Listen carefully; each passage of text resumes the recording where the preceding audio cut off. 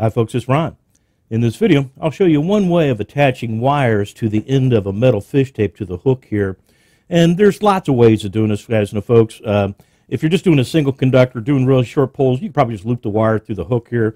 A little tape, you're probably going to call it good. But if you're looking for a technique for longer conduit runs that will ensure all the wires will get pulled through the conduit run, you'll find a lot of guys out there recommending the staggered um, approach to attaching the wires to the uh, uh, fish tape head here. So, um, and the only wire that's actually going to get fish, attached to the fish tape is this white, longer neutral wire. All the others, we're going to try and twist them together and then try to uh, form a, a, a, bundle of cable here referred to as the head that's nice, small, tapered, so it easily pulls through the conduit runs.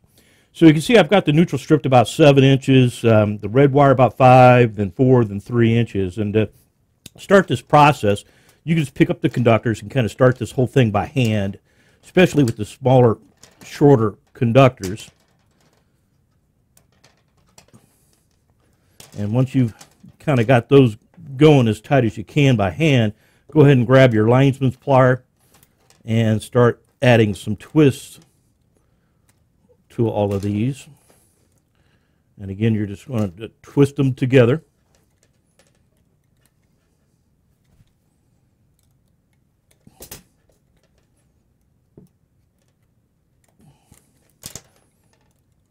There we go. That's a little better.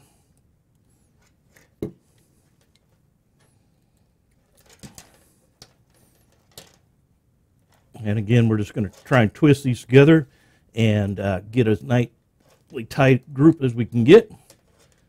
There we go. Got that one kind of sitting out there.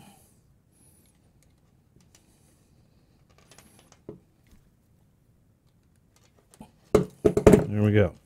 And those are fairly tightly twisted together. There we go. All right, and then I'm going to very simply attach this long wire into my hook, fold it back over that last couple inches, and then when I hook this back in, I'm going to squeeze it down to, again, minimize the size of that.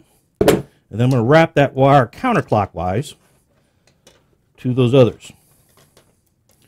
And there we should have it right there. And that should pull through fairly easy. And to top it off, we'll wrap it with electrical tape.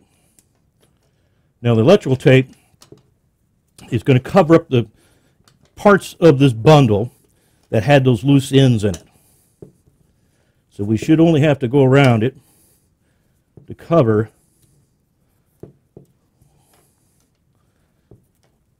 all the loose ends. There we go. I believe that's got it. All right. So there you have it.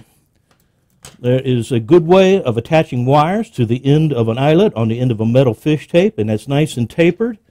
And you can see that that should pull through the conduits nice and smoothly, and uh, with a little pulling lubricant will actually work a little better. So there you have it, folks. Thanks for watching. I'm Ron with Ideal. I'll see you on the next one.